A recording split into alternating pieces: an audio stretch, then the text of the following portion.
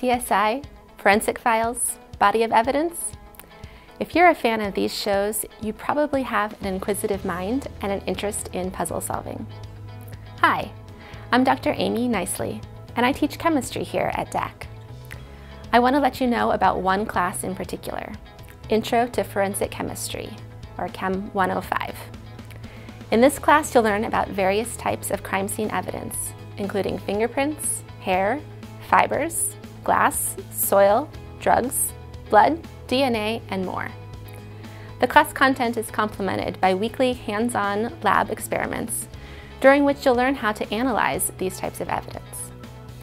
Chem 105 is a great option for you, whether you're just looking for a physical science class with a lab to fulfill your gen ed or degree requirements, or you have an interest in pursuing criminal justice or forensic chemistry in your future.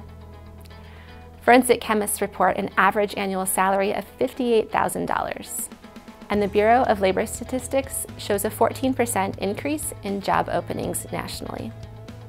Are you ready for a fun, hands-on laboratory class? Sign up for Chem 105 today. If you have any questions about the class, you can reach me at anicely at dacc.edu.